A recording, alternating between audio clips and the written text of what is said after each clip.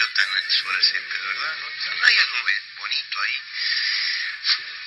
No, no sé, como que, ¿viste esa gente que cuando ve césped se descalza? Sí. Y el sentir al guato. Claro. Es sano también, hace bien. Si las calles tuvieran la posibilidad de conectarte con ese césped, ¿no? Con algo que crece. Lo pienso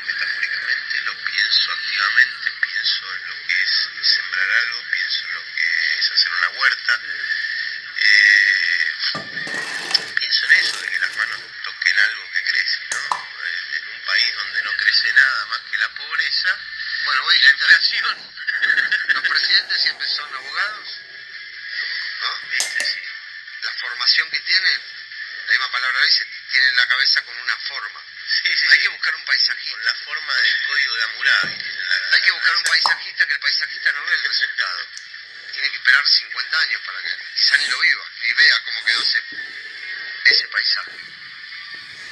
Sí, igual hay, hay totalmente un Nadie hace nada para te deja ver más allá. Sí, sí, Claro. sí, totalmente. Hace falta un horizonte más lejos. No puede ser tan corto. que no vaya a ver el resultado. Podés pensar la vida desde un ladrillo. Creo que esa es la frase que tendríamos, la tendríamos que poner en la pared del galpón. No podés pensar la vida desde un ladrillo. Podés usar el ladrillo para construir un pasillo, no un muro. Eh, sí, no, no, no, hay, hay algo ahí, hay algo ahí. La vida cuadriculada del... Es como... No, no, no. ¿Vos crees que en la situación del mundo, del país, del mundo y del país, porque estamos en va a llevar a, a- a que tengamos que retroceder en algunas cuestiones? Algunos van a querer adaptarse a lo que viene y otros van a querer ir en, en la dirección, va a decir, bueno, vuelvo. ¿Vos vas a querer escuchar toda la vida música de una IA o de un- ver un guitarrista delante tuyo? O que la guitarra pase a ser un objeto de museo.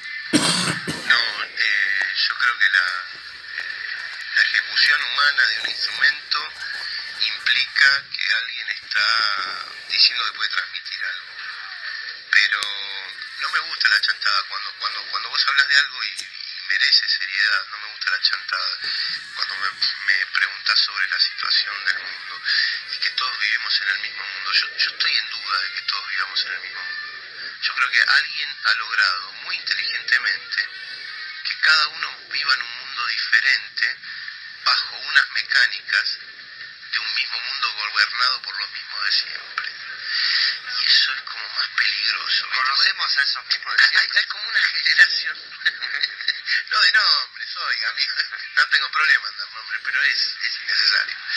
Hay, hoy en día hay una mecánica donde hay mucha gente que cree que si aprieta un botón le llega una pizza, si aprieta otro botón le llega una novia, y si aprieta otro botón le llega un analgésico. ¿no? Esta cuestión que el celular facilita y que además este multimillonario de Mercado Libre, también eh, logra acercarle a la gente mucha felicidad por mucho dinero. Entonces digo, eh, se utiliza todo, todo se utiliza como drogas. El adicto padece de adicción. La, la adicción es falta de diálogo. Cuando una persona no puede poner en diálogo, ponen acciones. Pero no son acciones constructivas, esa clase de acciones. Cuando yo digo que el ser argentino es un ser de inacción,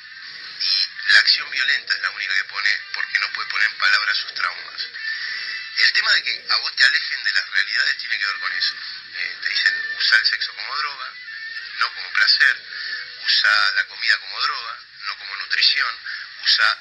Bueno, si te tienen todo el día drogado, vos comprás, comprás, comprás y trabajás para comprar y seguís comprando y entonces ya está, sos el esclavo útil de un montón de gente que gana mucho dinero y que con una firma mata más que con una bomba.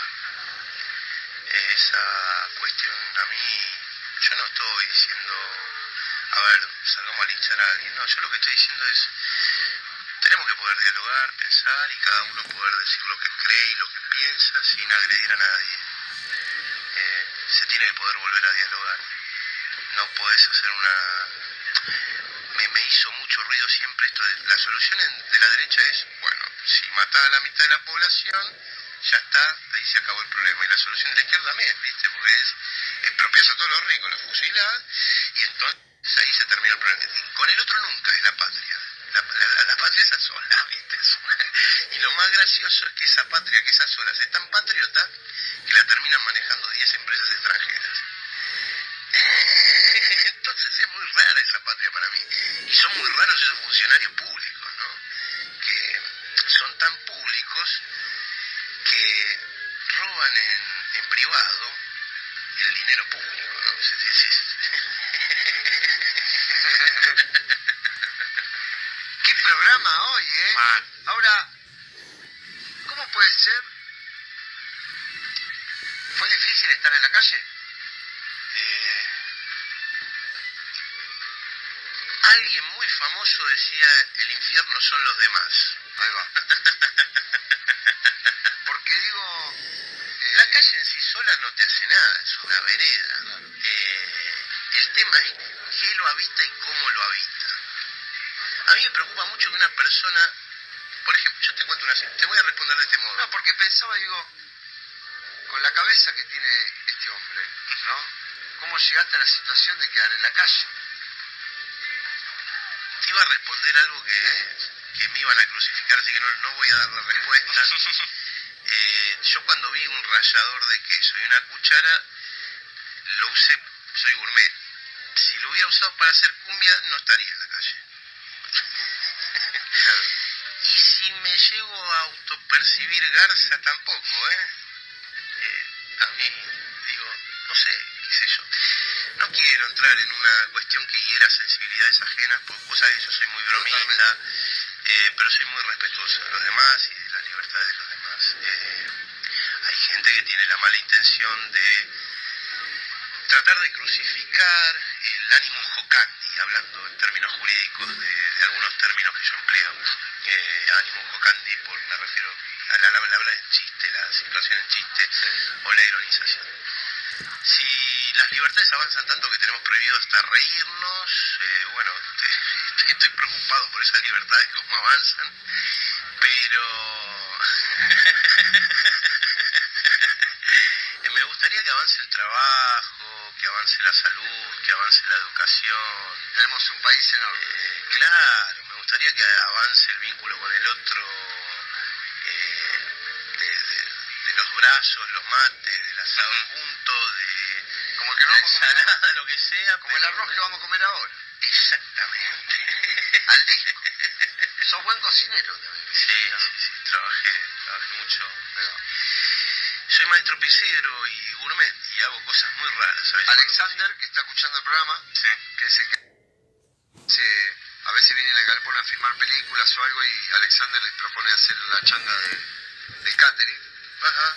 y le dijimos que cocinaba así que ahora iba a hablar con vos. Ah, buenísimo. Ya hay un cocinero, Alexander. Sí, Ah, sí, sí. bueno.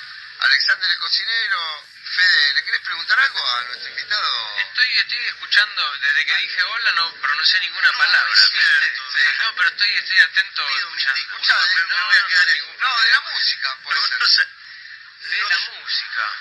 Ah. Eh, ¿qué- es lo que más te conmueve? Musicalmente, ¿no? Todo artista que puede comunicar un sentimiento sincero. O me a decir que cante un pedacito. Sí, ¿O no? para mí tenés que cantar. No. ¿Cómo que Un- Una frasecita. Estoy hoy con la garganta. Por favor. Me haces... Puede ser algo recitado, puede ser algo... Acá los galponeros me están mandando mensajes.